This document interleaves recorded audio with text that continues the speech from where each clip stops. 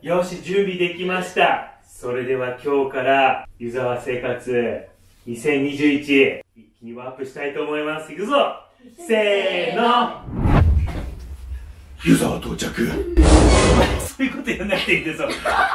ダチョウ倶楽部みたいになるからさ。さあ、ここから今シーズンのユーザーライフ始まります。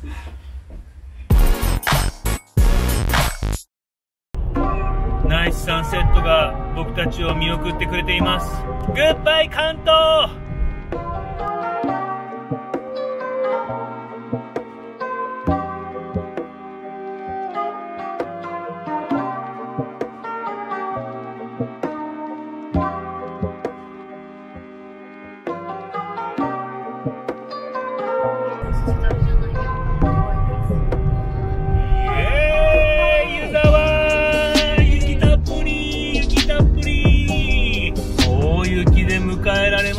湯沢めっちゃ雪あります。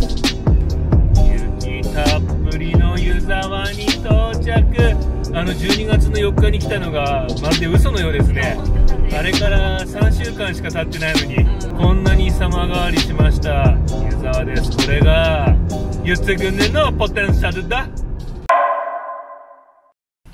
すごい雪の壁だね。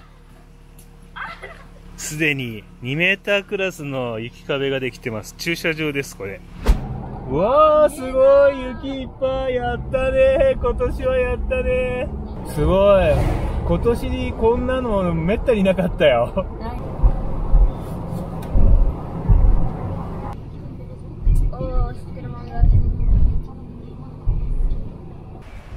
湯沢の駅前です。今日も来ました。アジロー in the house。小鳥さん、何ですか？マンゴーメうーん。ン。あ、美味しそう、マンゴーメン。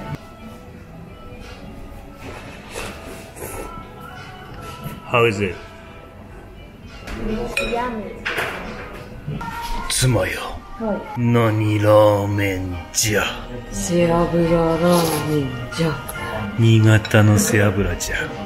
えらいこっちゃ、えらいこっちゃ、えらいこっちゃ、すげえ丼が来ちまった。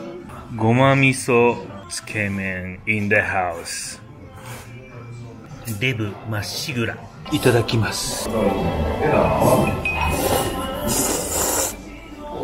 じゃあ、お芋ラーメン食べたらいいな。うわ、美味しい。葵さん。カレーつけ麺 in the house。よし、いっとけ。ごちそうさまでした。はいありがとうございますいやー、美味しかった、美味しかった、美味しかった。池さんおすすめの湯沢のラーメン屋さんは、味をチェケラ。落ちる落ちる落ちる落ちる落ちる落ちる落ちる落ちる落ちる。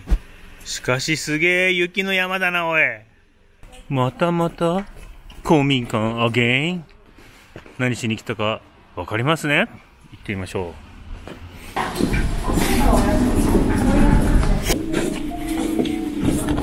通常車掌を取りに来ました。はい。う。これを受け取りに参りました。てってれー。はい。ありがとうございます。はい。あれ？どうさあ、ついに手に入れました。マジックパスタチオ。てってれー。これが前回紹介したこれですよ。チェケだ。こいつを手にしたからには、12のスキー場を滑りたい放題だぜ。さて、なんとか整いまして、この冬の我が家が完成いたしました。去年よりもかなり狭い部屋になりましたけど、まあ、使い勝手は悪くないね、妻。無駄がなくていいんじゃない逆に。あ、ほんと？この広さ。非常に快適でございます。本当は今日の夕方からナイター滑りに行こうと思ったんですが、やっぱりね、引っ越し初日にそんなうまいこと行くわけないよね、妻。もう疲れちゃったね。というわけで今日はここまで。バイバイ Dude, that father is 10 and permed.